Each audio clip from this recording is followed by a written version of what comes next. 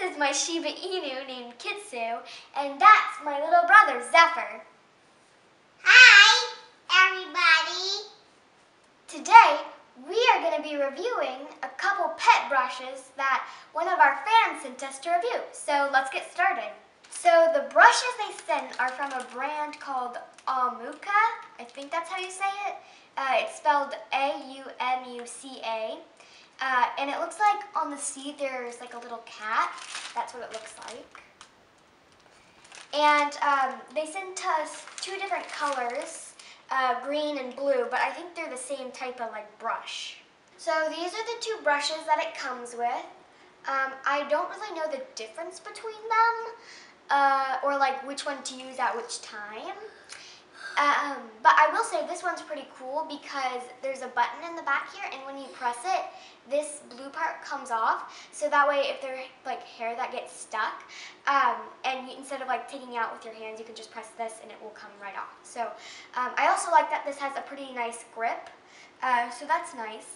Um, but when I was reading the instructions, um, it's pretty clear that this was written in Chinese and then translated into English because some words are kind of funny when it got translated. Um, and also, I think these brushes are primarily for cats, but on the front it does say suitable for all cats and dogs. Um, and Kitsu is kind of like a cat, so um, yeah, I think this will work. Okay, so let's give this a shot. The directions say to always brush with the growth of the fur because you don't want to accidentally like um, hurt your animal when you brush them or accidentally pull their hair out in an uncomfortable way.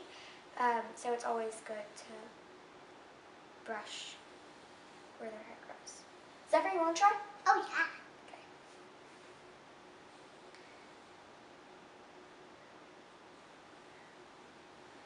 Good.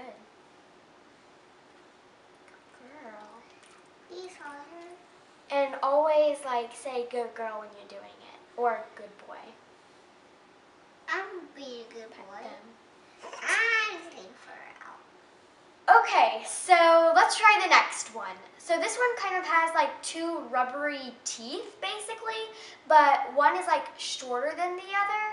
Um, so I think that one goes first and then the longer one goes second and you brush uh, sideways. So let's try this. It kind of looks like a comb. Your turn, Zephyr.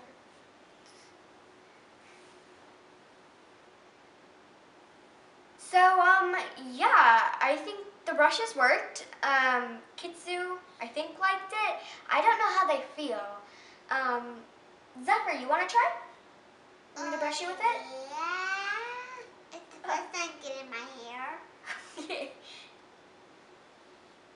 Zephyr, how does that feel? I feel scratchy. okay. Can Do- you but do you like it? Yeah. I don't want hair like that fuzzy hair. Now it your old self. So, um, yeah, that's pretty much the end of our review for these Aumuca brushes. Uh, thank you so much for watching. I'll see you next time. Goodbye!